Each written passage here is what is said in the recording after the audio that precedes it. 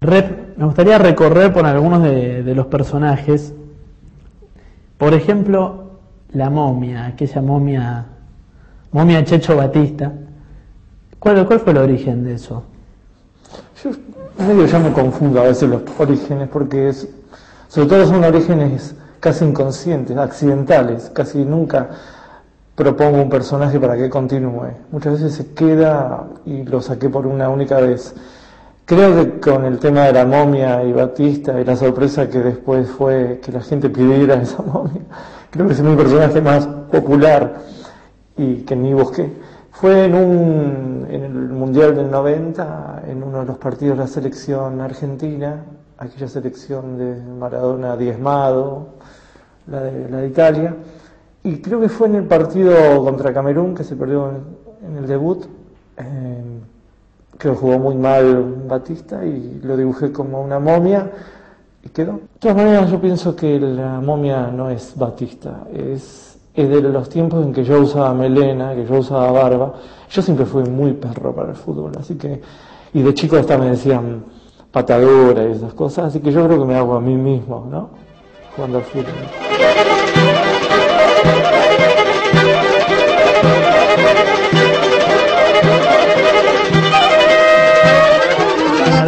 No sé si te habrá llegado esto, digamos, como devolución de los lectores, pero Gaspar aparece como cierto lector arquetípico de página 12. Mm. ¿no? Y es medio así, ¿no? Es medio el, el- Gaspar es un poco la parodia del sentido común del psicobolche o, de, o del progre, más que nada. ¿no? Más que nada del progre. Y a mí me sirve para atacar ese sentido común, porque a mí me aburren mucho los sentidos comunes.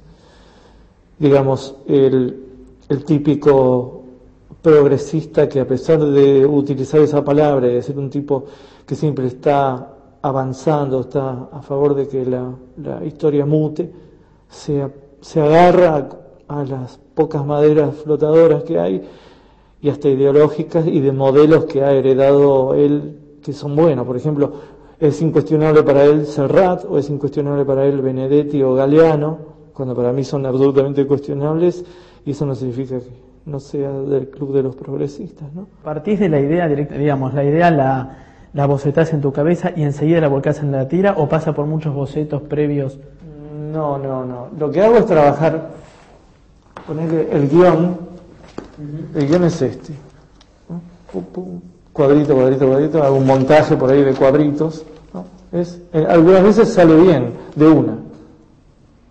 Pero otras veces sale caótico, entonces tengo que andar numerando. Este es el cuadro 2, ¿no? Hago montaje.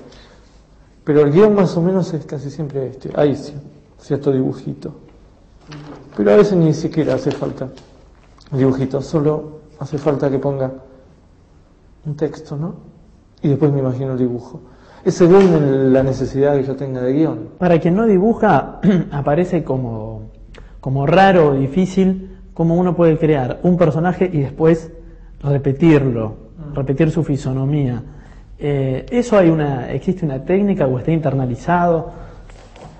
Hay una técnica y está internalizado.